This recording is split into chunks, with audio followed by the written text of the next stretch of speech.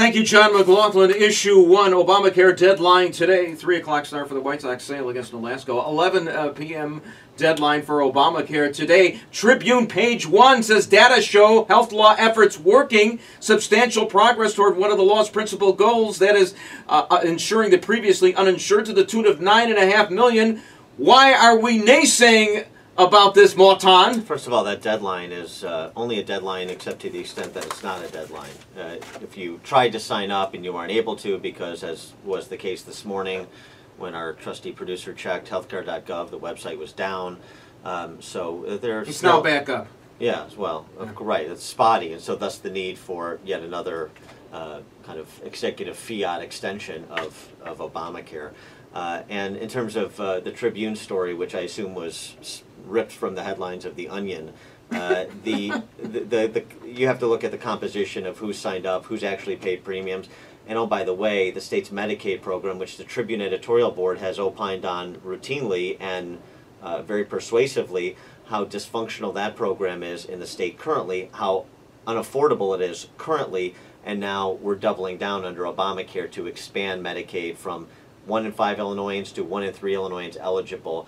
It's a financial and healthcare catastrophe. And Medicaid is the program where you get insurance, but no doctor will take you. That, that, that that's a good plan. Soviet. Yeah. Issue two. Across the pond in Great Britain, there is a clown shortage. There are fewer than 100 clowns. I dare say there might be more saber-toothed tigers in Britain than clowns. They blame it in part for the culture against clowns, as embodied by Krusty the Clown on The Simpsons. What to do about this clown shortage? Eleanor Clift. I don't know. I blame it on Pagliacci or maybe John Wayne Gacy. Uh, I'm not worried about uh, the clown shortage here. It just happens that most of them migrated from clown college to, of course, public office. And you know there will be one less clown at U.S. Cellular Field than there was like 20 years ago. I'm talking about one Andy the Clown. I'm I love about- Andy the Clown, don't you, Bruce? I sure do!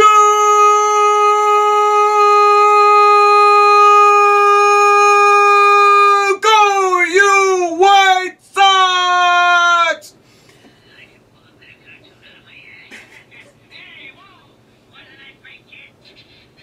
Issue 3, the NCAA tournament. Wasn't that action exciting over the weekend? And Benet Academy graduate.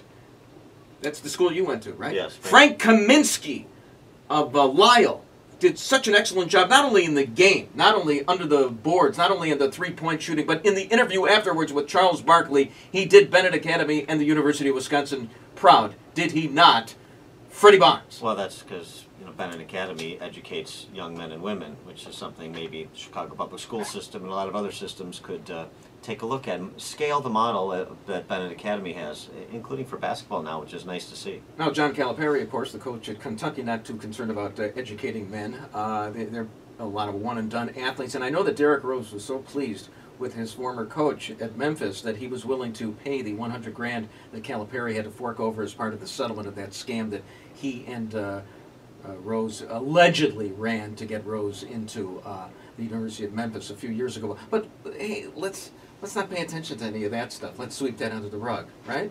Well, Right. it's hard to sweep it under the rug. They had to vacate all their victories. Pretty well established. Issue four, a new poll shows that Toni Preckwinkle could give Rahm Emanuel a run for his money. Is that true, Pat Buchanan? I wouldn't put a lot of stock in that survey. I don't know how credible it is, but I would say that uh, it is true that Toni Preckwinkle could give Rahm a run because she would be the de Blasio candidate, essentially. She would be backed by the public sector unions, starting most uh, specifically with Chicago Teachers Union and Karen Lewis.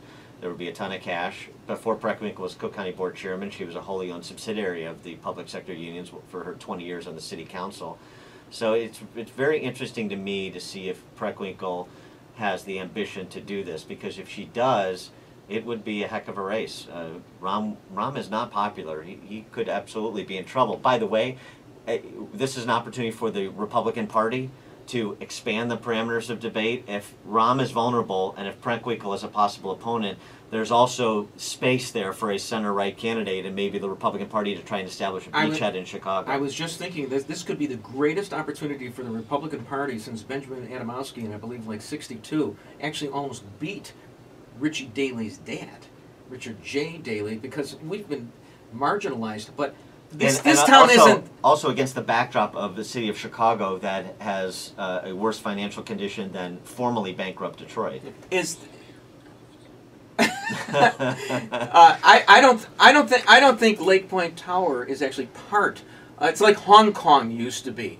It's not really It's a part. territory. Yeah, it's not Yeah, part of it. Now yeah. look, I, I just I can't believe this town is that lefty. Is it that It's leftist? not. It's not, and it's more conservative than New York or LA. Yeah. Both cities have elected Republican mayors, so I I think there's great opportunity there, and hopefully the Republican Party can get its act together. The problem, of course, is always the proximity. So we're all the proximity of elections. We're all focused on the November election, the governor's race, the Senate race, all the congressional races, and then just it's you have the holidays, and then February you have a primary for mayor of the city of Chicago. So that tends to crowd out competition and shorten the available time frame to actually mount a challenge. This is why you have to be a little bit forward looking and think about these things ahead of time. The kind of planning the Republican Party in Illinois is not exactly known for.